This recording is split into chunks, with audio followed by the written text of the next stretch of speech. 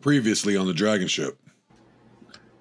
Raith, if you had advice for your daughters Um, on their inbuilt sexual nature and navigating that successfully in yeah, relationships. I, we were we were all very open with my kids about sex, and I mean, I I under taught them that it, it was pleasurable and all those things, and but there was a you know there was responsibility that went with it, and that's what a lot of people aren't teaching their kids today. There is responsibility that goes with it, and you know even even with the best intentions of you know uh, birth control stuff you know there's still a, a small percentage of people that still get pregnant on birth control.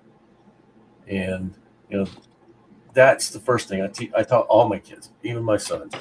There's responsibility that comes with sex. All right? And then you know i taught them that if you're going to do that you're going to have to accept responsibility for any of the outcome that comes from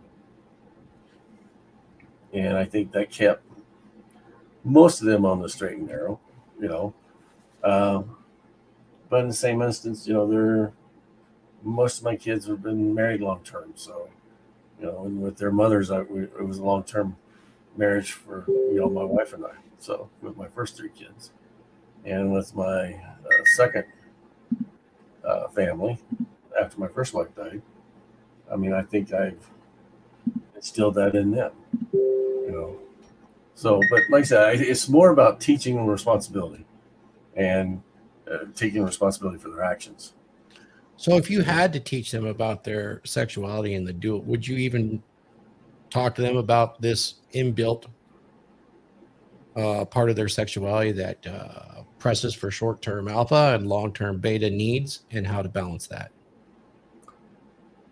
I, I think uh, probably with my daughters, I taught them more to respect themselves, and that by respecting yourself and respecting what the outcomes you want in your life, we're probably going to be um, more beneficial to control those urges.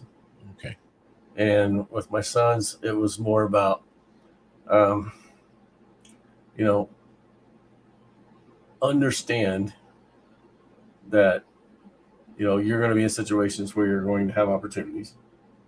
And i didn't say don't take advantage of those opportunities you know i kind of left that up to them. But men have to create those opportunities and women can respond to the creation. So that's kind of where i left it with my daughters it's up to you how you respond to that to that created opportunity. And i left that with my son the same thing. If you go out and create the opportunity take responsibility for it. If you haven't already, join Thor's The Dragons membership. It's a men's monthly interactive meeting in cyberspace. This is a masculine place for men that is censorship free to help you increase your performance, converse as well as leverage ideas, and get coaching consultations on how to handle life's issues in a modern world. This is a unique place. This is a discreet place, and it's a place for men. So, what are you waiting for? Join the Dragons membership today